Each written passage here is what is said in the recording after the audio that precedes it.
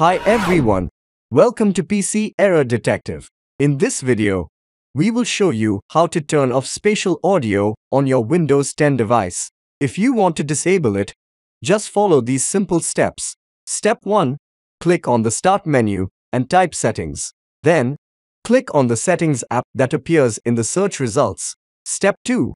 In the Settings app, click on the System option. This will open the System Settings page.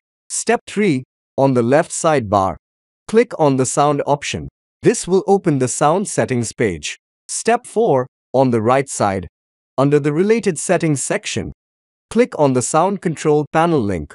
This will open the Sound Control Panel window. Step 5.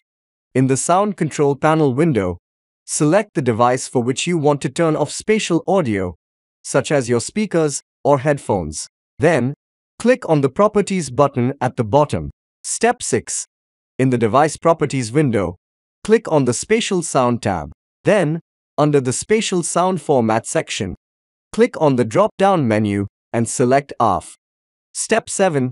Click on Apply and then OK to save the changes and exit the settings. And that's it. Thanks for watching and see you in the next video.